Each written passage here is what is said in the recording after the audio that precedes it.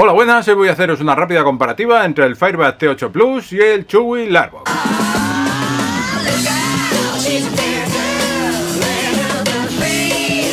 No voy a dar mucho la brasa respecto a características, pero voy a decir lo básico. Así que en principio vamos a ver lo más básico, lo más básico, el tamaño. El tamaño es una de las cosas en las que el Chewy Larbox va a ser mejor que el Firebird T8 Plus, porque es prácticamente la mitad. De alto, más o menos, son iguales, más o menos. Pero de, tamaño, se puede ver como prácticamente entran dos donde, donde cabe uno. O sea, sé que es prácticamente el doble. Aún así, hay que tener en cuenta que este es realmente pequeño. de hecho, se suponía que era el ordenador más pequeño del mundo y parece ser que sigue siendo el ordenador más pequeño del mundo. Punto número 2. Encendido. El encendido es a través de un botoncito con clicky tanto aquí como este, dos clics y ningún problema al respecto. Punto número 3. Puertos USB. Tres puertos USB 3.0 y en este caso tenemos dos puertos USB 3.0. La verdad es que aquí habría venido bien algún puerto USB este extra. Por ejemplo, este USB-C realmente es un USB-C de, carga. O sea, este USB-C es como este de carga que tiene aquí. Quizás hubiese venido bien tener este, un puerto de carga y, y un USB-C funcional pero no es el caso.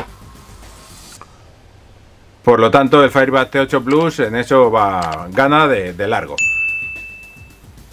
Puertos LAN. En este caso hay dos. En este caso hay ninguno.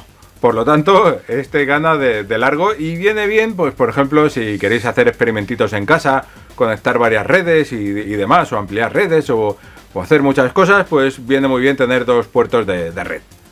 También es cierto que los dos tienen wifi y por lo tanto pueden usar wifi para el uso normal y corriente.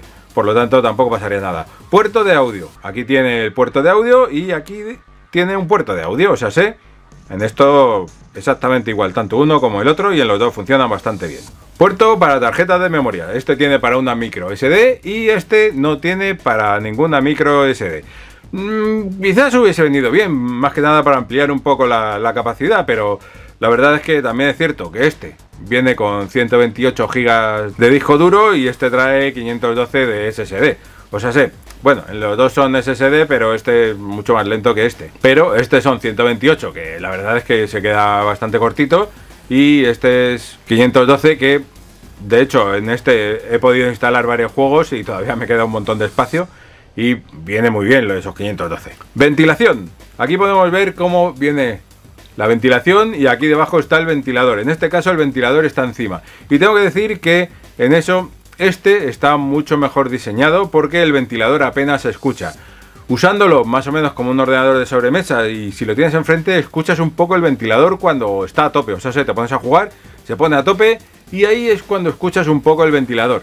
En este caso, usándolo para, para, con una tele, estando a 3 o 4 metros, escuchas perfectamente el ventilador cuando se acelera, cuando empieza no a tope, sino un poquito a calentarse, se empieza a calentar y, empieza a hacer ruido el ventilador y se puede decir que es algo más molesto. Respecto a potencia bruta, o sea, el procesador. En este caso viene un J4125 y en este caso un N100, que la verdad es que esos 3-4 años de diferencia que hay entre este modelo y este se nota muchísimo. Es un procesador que consume mucho menos, que tiene mucha más potencia. Con este se puede jugar a muchísimas cosas. De hecho, con este he probado a jugar al GTA, al GTA 5 y, funciona bien a 30 FPS. Y con este todo lo que se pase del Left 4 Dead 2 pues va un poquito pegado. Mm, no va especialmente bien. Pero es que claro, esos años eh, tienen mucha diferencia. Este, por cierto, todavía se sigue vendiendo a unos 70-80 euros.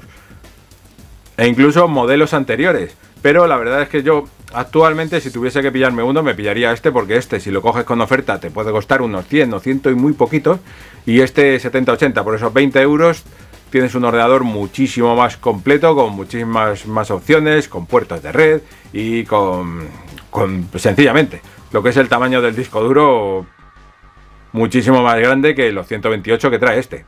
Así como por ejemplo la memoria, este viene con 16 GB de, RAM de LPDDR5 y este trae 6 GB de RAM, creo que era DDR4 o DDR3. me suena que era DDR4, pero bueno, aún así no es lo mismo. 6 GB, que sí, que un Windows 10 funciona más o menos bien y para ver eh, vídeos en YouTube y, demás, pues te va a ir bien, pero es un ordenador muy recortadito y sin embargo este pues, se puede decir que es un pepino, no es una maravilla porque si quisiese jugar pues ya tendrías que ir a otro tipo de, ordenador, de, otro, otro tipo de mini PC, pero es un ordenador muy, muy, muy polivalente, ya que puedes echarte una partida al GTA V con toda tranquilidad y disfrutarlo, y luego ponerte a ver vídeos, películas, poder e, editar vídeos sin pasarte mucho, claro, sin, sin ir a nada profesional, puedes hacerlo y, y te va a funcionar bien. La verdad es que sobre eso ningún problema. Y respecto al funcionamiento en general, son cuatro años de diferencia lo que lleva este de este y se nota muchísimo. Así que nada más al respecto sobre esta pequeña comparativa entre el Firebat T8 Plus y el Chewy Landbox. Un saludo y hasta otra. Si te ha gustado este vídeo puedes dar like y suscribirte. Si no te ha gustado este vídeo, mmm, puedes dar like y suscribirte.